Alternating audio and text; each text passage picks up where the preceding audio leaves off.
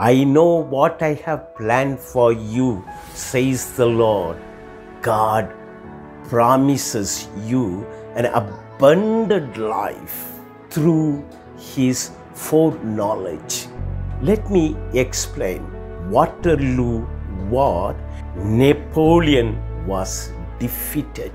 Nathan and his family become very rich. An unrighteous man, through his foreknowledge and plan, become very rich. How much more? Our living God, who knows you, will bless you abundantly.